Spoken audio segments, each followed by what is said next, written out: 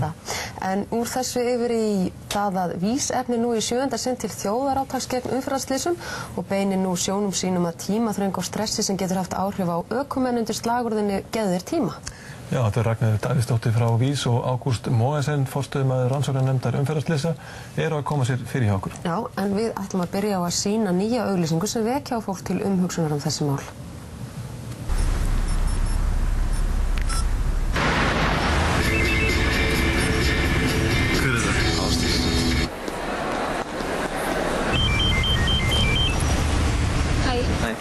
Ertu ekki fara að koma? já bara eftir að segja stelpuna, ég er að flýta mér.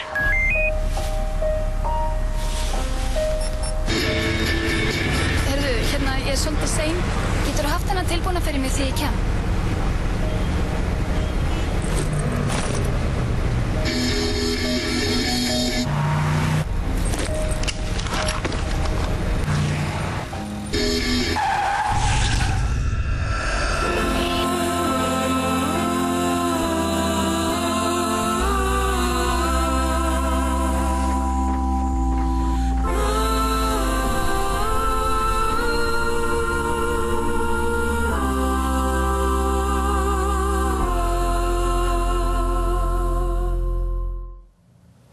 Já, þetta er alveg ótrúlega áhrifarík auglýsing og Ragnhildur og, Ágúst velkomin.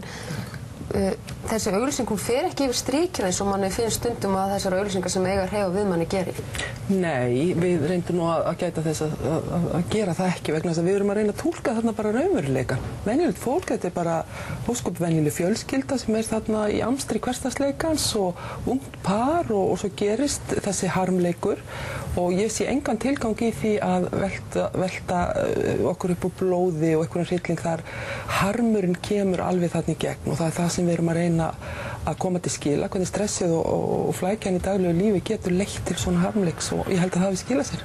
Er sem sagt málið það tilfellið að stress, menn æða út í bílana sína undir stressi og þá gerist eitthvað? Já, og við hjá Rannsóknir Dömfyrirslýsa við höfum bent á það að í árið 2007 að það voru fjögur af 15 banaslýsum í umfyrinni sem að má reykja til kannski svipast þáttar, það er, það er undirleikjandi þáttur sem er andlegt ójabæði og uh, þá vorum við að horfa í það að ökumenn æða út eftir rifrildi eða deilur og, og oft undir áhrifum áfengis og fara út á veginn og það er mjög slæmt og við teljum sérstaklega mikilvægt að benda á þetta núna sérstaklega þegar sumar er að koma vegna þess að þessi slís verða á, á sumrin oft. Hvað er fólk í meira ójafnægi á sumrin eða eða hvað er?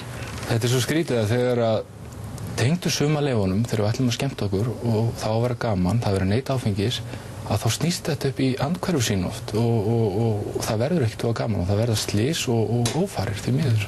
Og svo er þetta klassiska GSM síminn, annarkort að vera notan eða hann dettur í volvið eða eitthvað slíkt. Er þetta mjög algengt?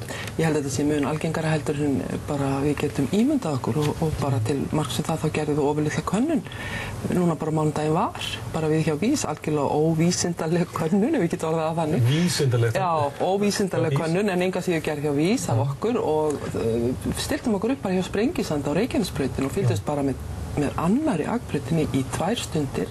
Og það voru fjö- 430, 40, 443 einstaklingar sem töluði í síman það voru þónungum margir sem fengi að njóta af avans og við gáttum ekki fylgst með þeim sem voru að senda SMS og þetta er kannski svolítið undarlegt þegar við berum þetta saman við kærurnar sem að, uh, ég sá að ríkislauglustjóri hefur beitt þá sem að tala í, í síma án handhjálpsbúnaðar. Og þær eru að meðaltali 650 kannski aðeins fleiri undan, undanfarin tvö ár, ég veit ekki, það voru ekki til nýri tölur nema fyrir árið 2007, þá voru það 1300 enga síðan sem getið ímyndað ykkur 443 ár á tveimur tímum á einum stað. Vá. Hvað eru margir að tala í síma?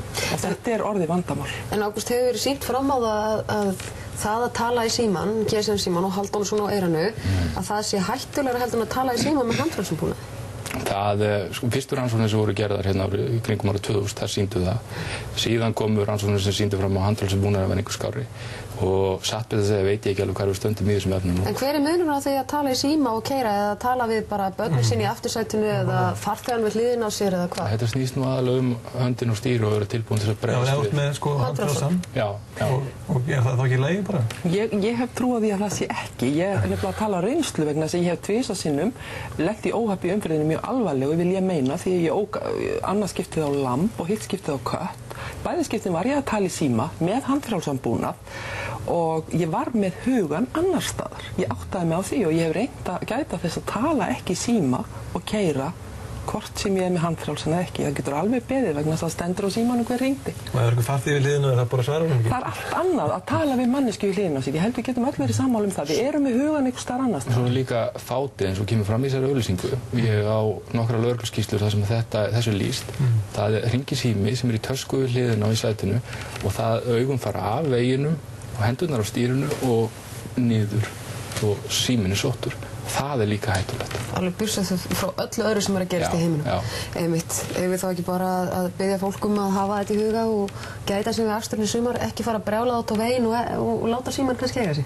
Jú, og gefa sér tíma til þess að, að, að huga að því sem er mest um verð að hugsa um það sem það er að gera. Gera ekkert annað heldur en að keira vegna þess að það er fullt starf. Akkurat, kæra það ekki fyrir þetta andri til aðtýnibyrsturar.